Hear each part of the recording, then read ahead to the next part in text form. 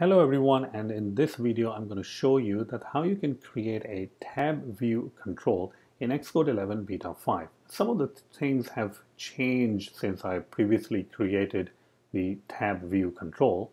Uh, so let's go ahead and get started.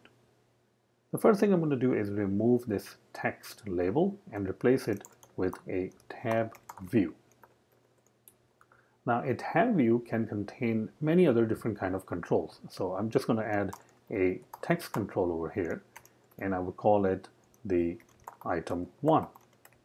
Now this is basically the view that you're going to see on the first tab or the first tab item.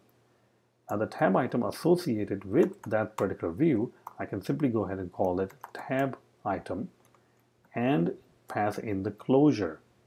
And we can actually add some sort of item over here, which in this case, I can just add home. Now if you see over here at the bottom, you can see the home is being appearing in my application or Xcode preview on the right hand side. Currently we're also using the text view as our output or as our view, which you can see over here. We can replace all of this with a completely different view like your home view, dashboard view, graph view, cart view, products view, login view, registration view, and so on. Let's go ahead and add one more item and we will also get this as a text item or a text view. We will call it item number two.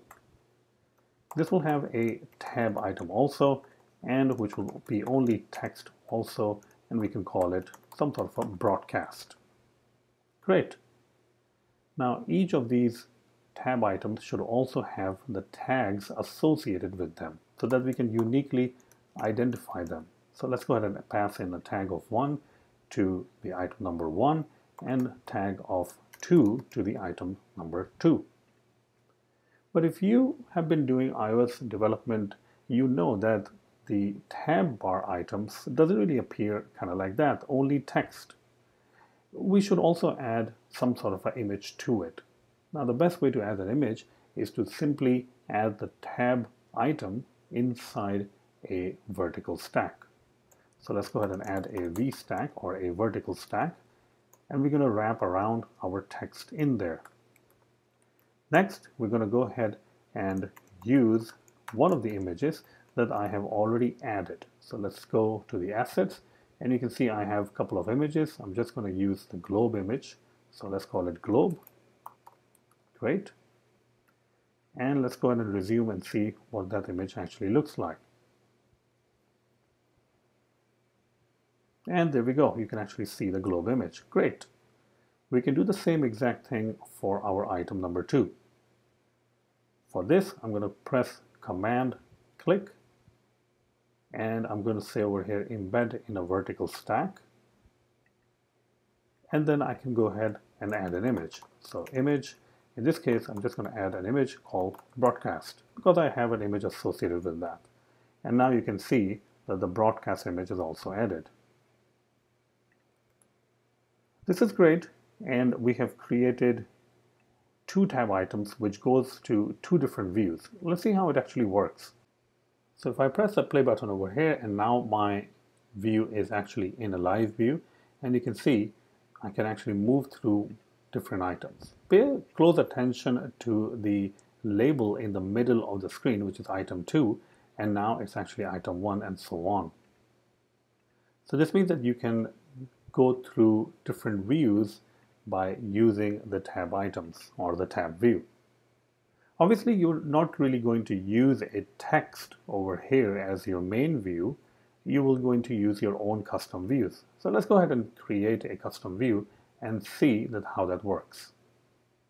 I'm going to go ahead and add a Swift UI view and you can call your view anything you want. We are simply going to call it maybe home view Let's go ahead and create that.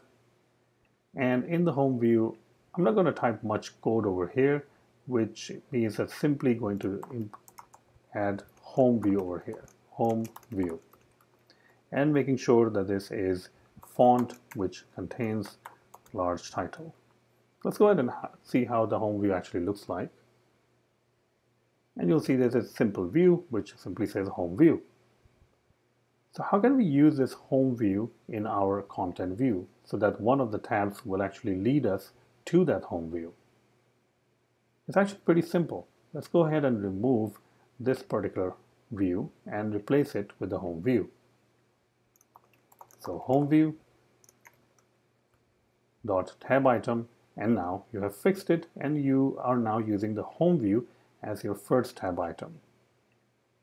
If I go ahead and run this application, you can see I can move from one view to the other. It highlights obviously the tab bar selected item and it shows me the home view or whichever view that I'm on. So you can see that how easy it is to use a tab view and to build a tab view in SwiftUI. If you want to learn more about how you can build amazing SwiftUI applications, then check out my Udemy course SwiftUI Declarative Interfaces for any Apple device. This is the highest rated course on Udemy and you can see I have more than 600 students enrolled. The course is around 8 and plus hours of amazing content.